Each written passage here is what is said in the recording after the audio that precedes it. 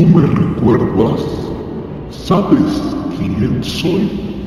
Si no, estás en graves problemas.